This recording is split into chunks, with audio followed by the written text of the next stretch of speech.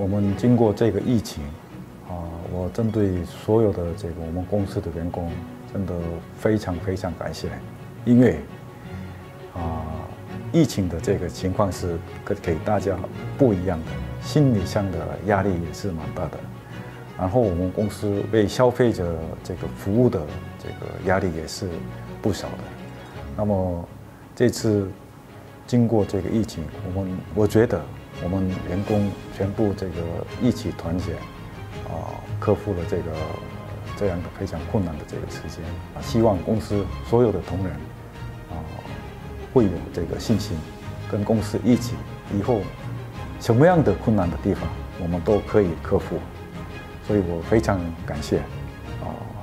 我们公司所有的员工，然后希望啊我们公司继续在台湾的市场啊发展下去。